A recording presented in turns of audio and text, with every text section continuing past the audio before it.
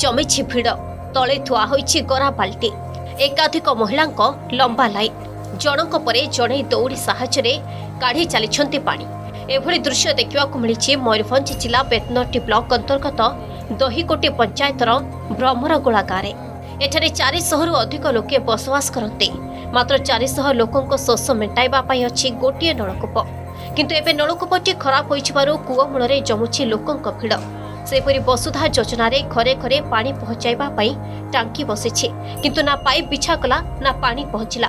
ଫଳରେ କୋଡ଼ିଏ ବର୍ଷ ତଳେ ଯାହା ଥିଲା ସ୍ଥିତି ଏବେ ବି ସମାନ। ପାଣି ପାଇଁ ଲୋକେ ଡହଳ ବିକଳ ହେଉଛନ୍ତି। ନଳକୂପ ଖରାପ ହୋଇଯିବାରୁ କୂଅ ମୂଳରେ ଜମୁଛି ଲୋକଙ୍କ ଭିଡ଼।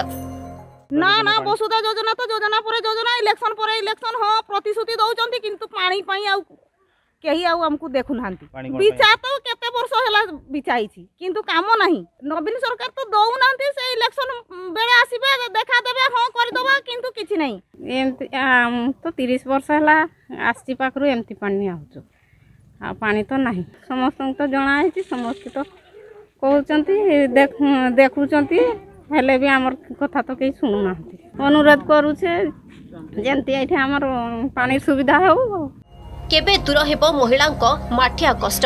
କେବେ ପହଞ୍ଚିବ ଘରେ ଘରେ ପାନୀୟ ଜଳ? ଆଦିବାସୀ ଅଧ୍ୟୁଷିତ ମୟୂରଭଞ୍ଜ ଜିଲ୍ଲାରେ ଗାଁ ଗାଁରେ ଦେଖିବାକୁ ମିଳିଛି ଏଭଳି ଦୃଶ୍ୟ। ଗାଁର ବୃଦ୍ଧା ମଧ୍ୟ ଏହି କୂଅରୁ ପାଣି କାଢ଼ି ଚାଲୁଛନ୍ତି। ବୟସର ଅପରାହ୍ନରେ ପହଞ୍ଚିଥିଲେ ବି କମିନି ମାଠିଆ କଷଣ। ଏନେଇ ସ୍ଥାନୀୟ ଲୋକେ ସରପଞ୍ଚଙ୍କଠାରୁ ଆରମ୍ଭ କରି ବେତନଟି ବ୍ଲକ ଭିଡିଓଙ୍କୁ ଜଣାଇଥିଲେ ବି ଦୂର ହେଉନି ଜଳ କଷ୍ଟ। ଆମର ଖାଇବା ପାଇଁ ବହୁତ ହରିଆଣ ରାତିର ପାଣି ଉଠେଇ ମୁଁ ପାରୁନି। ଆମର ସେଇ କୂଅରୁ ମାନେ ପାଣି ଶୁଖି ଯାଉଛି। ପାଣି ଜମା ରହୁନି ଆମ କୂଅରୁ। ଯେତେ ଇଲେକ୍ସନ୍ ଆସିଲା ଆମେ ସମସ୍ତଙ୍କୁ କହିଲେ ଯେ ହଁ କରିଦେବା ହଁ କରିଦେବା ହଁ କହିବ।